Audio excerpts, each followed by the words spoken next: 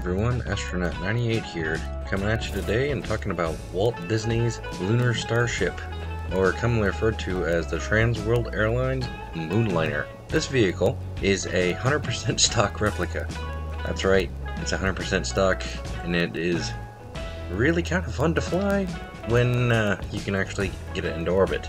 A little tricky to fly, but this was actually designed by Walt Disney for uh, the Tomorrowland section of Walt Disneyland. So, this was actually built by the Kaiser Aluminum Company in the park and was sponsored by TWA, Howard Hughes Aircraft Company, and was actually designed by one of the Walt Disney Imagineers with input from the Dr. Werner von Braun and Dr. Willy Ley, uh, one of the chief rocket engine engineers at the time. It would have lifted off using chemical engines, like this one does, and then boosted itself into orbit and to the moon using nuclear engines.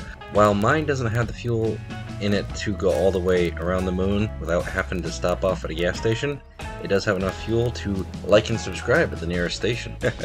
a little plug there, just for kicks. Why not, right?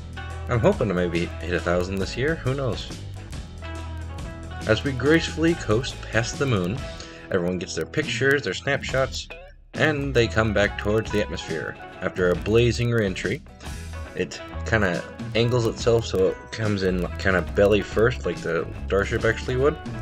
And then my version deploys parachutes to kind of line it up.